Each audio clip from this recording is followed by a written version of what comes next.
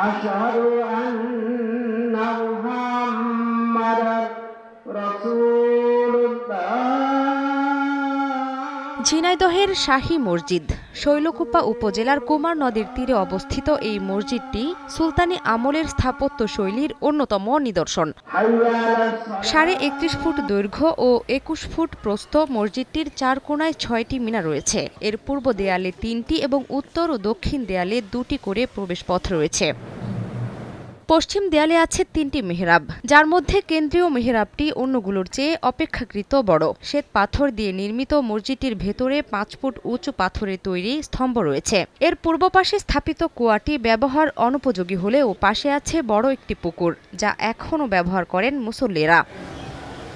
মসজিদের সামনের অংশ কিছুটা সংস্কার হলেও পশ্চিম পাশের কাঠামো এখনও অবিকল রয়েছে। পূর্ব পাশে ত্রিশ থেকে পঁয়তাল্লিশ ফুট উঁচু প্রাচীরের ঘেরা মাজারটি শাহ মোহাম্মদ আরিফি রব্বানি ওরফে আরব শাহের মাজার বলে ধারণা স্থানীয়দের। ওয়াকফ স্টেট হওয়ায় এটির দেখভাল করেন তার বংশধররা। প্রাচীন এই স্থাপত্য নিদর্শন দেখতে ছুটে আসেন ভ্রমণ পিপাসুরা। এই মসজিদটা প্রাচীর আছে আপনার পঁয়ষট্টি ইঞ্চি এবং ভিতরে দুইটা পিলার আছে, পাথরের পিলার এবং শ্বেত পাথরের ফ্লোর। ভিতরের সৌন্দর্যটা খুবই ভালো এবং গরমের সময়ও ঠান্ডা, এবং হচ্ছে শীতের সময় গরম এই মসজিদের ভিতরটা। অল টাইমে এরকমই থাকে সবসময়। এর নিয়মটাই এরকম, বুঝছেন?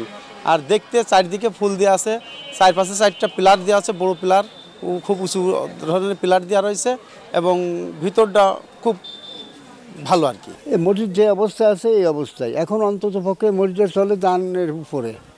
এখানে হাজত মানুষ কিছু আসে বাইরের লোক দান খয়রাত করে এদের পার চলে। তাছাড়া মসজিদের কোনো জমাজাতি কিছু নেই এখন। এখানে নামাজ কালামে খুব মনের দিক থেকে আর তৃপ্তি মিটিয়ে বেশ নামাজটা আদায় করতে পারি। ওইসব পানি ব্যবহার করতো কুয়ার পানি ব্যবহার করতো নদীর পুষ্করণী পানি গোসল ব্যবহার করতো বা তা গোসল আবার সবাই গোসল টোসল করতো।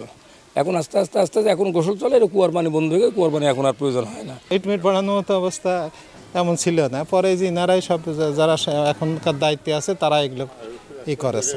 আগে নাগে শুনলাম নাকি কিছু ভেঙে টেঙে গেছিল, পরে এটা সংস্কার করা হয়, এই। উনিশশো বিয়াল্লিশ সালের পর থেকে মসজিদে আর কোনো ই সংস্কার হয় টুকটাকে রং সং এইসব হয় আর কি। মসজিদের উন্নয়নে যে কোনো সহযোগিতা করার পাশাপাশি কাঠামোগত কোনো পরিবর্তন যেন না হয় সেই বিষয়ে গুরুত্ব দেওয়া হচ্ছে বলে জানায় উপজেলা প্রশাসন। এটা যেহেতু একটা প্রাচীন স্থাপনা এটা সুলতানি আমলের অনেক পুরাতন একটা স্থাপনা এটা শৈলকুমার একটা ঐতিহ্য। এবং এই ঐতিহ্য যেন মানে কোনো ব্যত্যয় না হয় কেউ যেন কোনো অবকাঠামো চেঞ্জ না করতে পারে সে বিষয়টা আমরা লক্ষ্য রাখি। সুলতান নাসির উদ্দিন নুসরত শাহর শাসনামলে প্রায় আট একর জায়গার উপর নির্মাণ করা হয়। নান্দনিক এই শৈলকুপার শাহী মসজিদটি। দু হাজার একুশ সালে সবশেষ মসজিদটি সংস্কার করা হয়। সময় সংবাদ ঝিনাইদহ।